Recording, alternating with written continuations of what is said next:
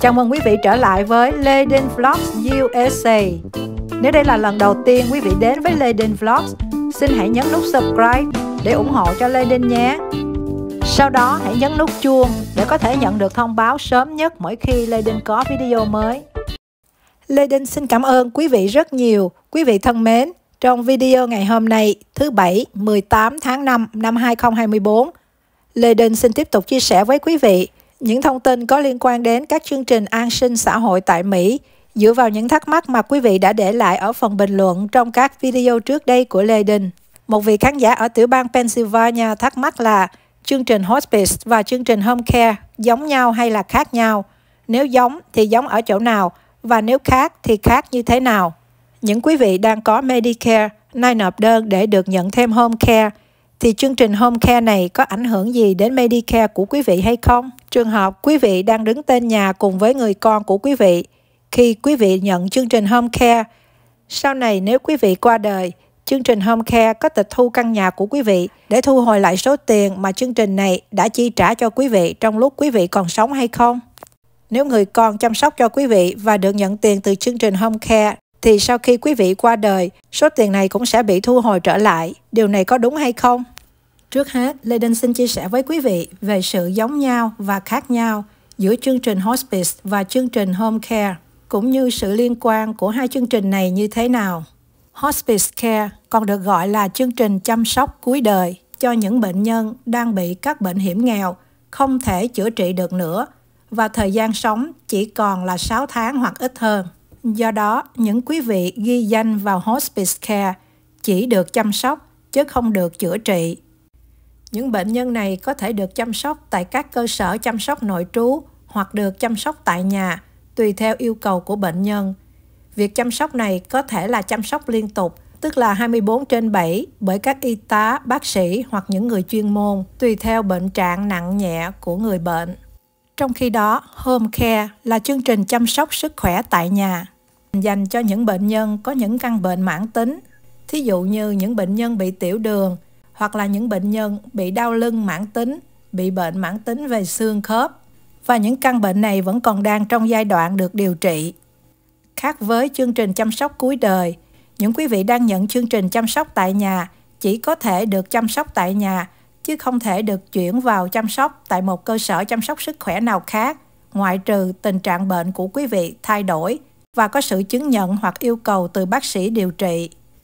Như vậy, việc chuyển đổi giữa hai chương trình này của các bệnh nhân là tùy vào tình trạng sức khỏe của bệnh nhân và tùy vào quyết định của bác sĩ điều trị. Điểm giống nhau của hai chương trình này là cả hai chương trình đều có thể được chi trả từ các chương trình bảo hiểm sức khỏe tư nhân, tức là từ các loại bảo hiểm sức khỏe mà quý vị được nhận từ nơi làm việc của mình. Hoặc nếu quý vị là những người lao động tự do thì quý vị mua các bảo hiểm sức khỏe đó từ tiền riêng của quý vị. Hầu như các chương trình bảo hiểm này đều chi trả các dịch vụ chăm sóc tại nhà hoặc chăm sóc cuối đời. Tuy nhiên, về phần tiền copay và deductible sẽ thay đổi nhiều hay ít là tùy vào plan mà quý vị mua. Đối với những gia đình hoặc những quý vị có thu nhập thấp, có Medicaid hoặc là Medical, thì Medicaid và Medical cũng chi trả các chương trình chăm sóc tại nhà và chương trình chăm sóc cuối đời cho quý vị khi cần. Những quý vị về hưu có mua các chương trình bảo hiểm sức khỏe Medicare phần A, phần B, phần D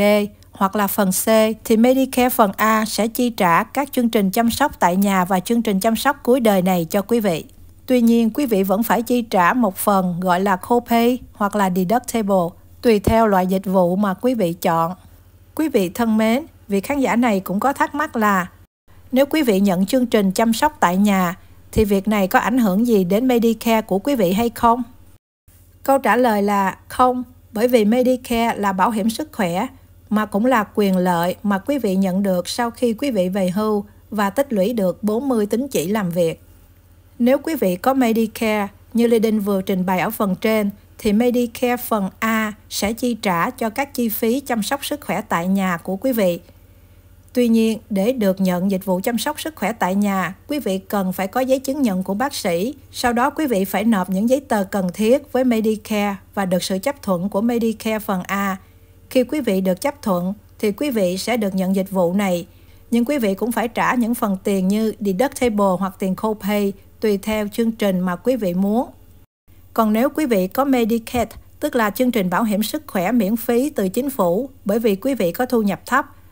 mà ở tiểu bang California thì gọi đây là chương trình Medical. Quý vị sẽ được nhận dịch vụ chăm sóc sức khỏe tại nhà miễn phí, tức là quý vị không cần phải chi trả một khoản tiền deductible hay copay gì cả. Bởi vì Medicaid hay là Medical đã chi trả tất cả những chi phí đó cho quý vị, với điều kiện quý vị phải có giấy chứng nhận của bác sĩ là bệnh trạng của quý vị cần có sự chăm sóc tại nhà và đơn xin của quý vị được sự chấp thuận từ Medicaid hay là Medicare. Phần thắc mắc tiếp theo của vị khán giả này là nếu cô đứng tên nhà cùng với người con của cô thì việc cô nhận chương trình home care, tức là chương trình chăm sóc tại nhà, có ảnh hưởng gì đến căn nhà của cô khi cô qua đời hay không? Câu trả lời là có, tuy mỗi tiểu bang sẽ có cách áp dụng luật khác nhau,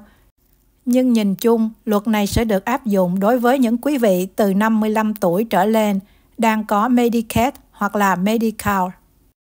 Theo luật này, khi quý vị 55 tuổi trở lên mà Medicaid hoặc là Medicare có chi trả các chi phí cho những dịch vụ mà quý vị được nhận từ các cơ sở điều dưỡng hoặc là các dịch vụ chăm sóc tại nhà cũng như các dịch vụ chăm sóc có liên quan đến bệnh viện và thuốc theo toa. Khi quý vị qua đời thì Medicaid và Medicaid của tiểu bang được quyền thu hồi các chi phí này lại từ tài sản của quý vị đang có mà cụ thể là từ căn nhà của quý vị đang đứng tên. Như vậy nếu quý vị cùng con của quý vị đứng tên cho một căn nhà, tức là quý vị cũng có một phần tài sản trong căn nhà đó. Vì vậy, tiểu bang của quý vị sẽ thu hồi toàn bộ lại những chi phí mà tiểu bang đã chi trả về các dịch vụ chăm sóc y tế khi quý vị còn sống. Tuy nhiên, tiểu bang sẽ không được quyền thu hồi căn nhà này nếu như trong căn nhà đó vẫn còn có chồng hoặc vợ của người đó đang sinh sống hoặc trong căn nhà đó vẫn còn có người con dưới 21 tuổi hoặc các con tuy trên 21 tuổi nhưng lại bị khuyết tật hay là bị mù. Vậy nếu quý vị đang có Medicaid và đang nhận các chương trình chăm sóc sức khỏe từ Medicaid Medical, nhưng quý vị không thuộc một trong các trường hợp mà Lê Đinh vừa mới nêu trên, sau khi quý vị qua đời thì một phần tài sản hoặc là toàn bộ tài sản của quý vị có thể sẽ bị tiểu bang thu hồi trở lại, tùy theo chi phí chăm sóc sức khỏe và điều trị mà tiểu bang đã dùng để chi trả cho quý vị trong lúc quý vị còn sống. Vị khán giả này cũng chia sẻ là có người khuyên cô hãy sang tên nhà cho người con của cô trước khi cô nộp đơn xin home care. Nhưng theo chia sẻ của nhiều quý vị khán giả thì đây không phải là cách tốt nhất. Theo ý kiến của nhiều quý vị khán giả thì những quý vị khán giả này đều khuyên thay vì sang tên cho con, quý vị nên lập một living trust. Tuy nhiên đây là một vấn đề quan trọng có liên quan đến tài sản và các quyền lợi về bảo hiểm sức khỏe Medicaid, Medical của quý vị. Cho nên, theo Lê Đinh, quý vị hãy gặp một luật sư chuyên môn về hoạch định tài sản, am hiểu về các luật lệ của chương trình Medicaid, Medical để giúp quý vị tìm một giải pháp tốt nhất cho trường hợp riêng của từng quý vị. Ở phần cuối của câu hỏi này, vị khán giả cũng có thắc mắc là Cô nghe nói là nếu cô được nhận chương trình home care và nếu người chăm sóc cô là người con của cô, thì sau này khi cô qua đời, chính phủ sẽ thu hồi lại tất cả những khoản tiền đã trả cho con của cô trong thời gian chăm sóc cho cô. Điều này có đúng hay không? Khi thoáng đọc câu hỏi này thì Lê Đinh thấy điều này hoàn toàn không đúng.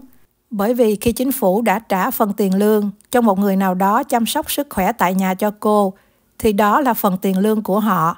Khi cô qua đời, chính phủ không có quyền thu hồi lại phần tiền lương đã trả cho người đó, cho dù người đó là con ruột của cô.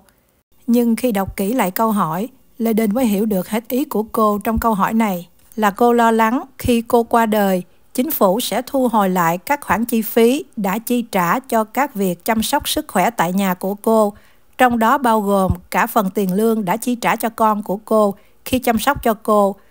Và khoản thu hồi này sẽ được rút ra từ phần sở hữu căn nhà của cô. Thực tế có thể sẽ là như vậy, nhưng không ai có thể biết cụ thể là chính phủ sẽ tính toán như thế nào trong việc thu hồi tài sản của những quý vị đã nhận Medicaid Medical. Chỉ biết là theo những thông tin mà Lê Đinh đọc được trên trang nhà của Medicare.gov, thì những thông tin này cho biết tiểu bang có thể chọn thu hồi lại toàn bộ chi phí đã trả cho tất cả các dịch vụ ngoại trừ các chi phí mà đã được chi trả từ các chương trình Medicare Savings của người được nhận Medicare này. Lê Đinh sẽ để đường link của thông tin này ở phần description của video. Để quý vị nào muốn tìm đọc những thông tin gốc, Lê Đinh mời quý vị hãy nhấn vào đường link đó để tham khảo. Trong thông tin này cũng có ghi rõ là tiểu bang có thể sẽ không thu hồi phần tài sản của những quý vị đã nhận Medicaid, Medical và đã qua đời. Nếu việc thu hồi tài sản này sẽ gây ra những khó khăn quá mức Điều này có nghĩa là nếu gia đình của quý vị nộp đơn xin với tiểu bang và chứng minh được với tiểu bang là việc thu hồi tài sản này sẽ gây ra những khó khăn quá mức về tài chính cho gia đình của quý vị, thì tiểu bang có thể sẽ từ bỏ việc thu hồi tài sản của quý vị. Quý vị thân mến, đó là toàn bộ những thông tin mà Lê Đinh muốn gửi đến quý vị trong video ngày hôm nay. Lê Đình hy vọng video này mang đến những thông tin hữu ích cho quý vị. Trong thời gian sắp tới, Lê Đình sẽ gửi đến quý vị thêm nhiều video với những thông tin hữu ích khác. Cho nên nếu quý vị chưa nhấn nút subscribe, Lê Đình mời quý vị hãy nhấn nút subscribe và nhấn nút chuông để nhận được thông báo sớm nhất mỗi khi Lê Đình có video mới. Còn bây giờ, Lê Đình xin chào tạm biệt quý vị và xin hẹn gặp lại quý vị ở những video tiếp theo.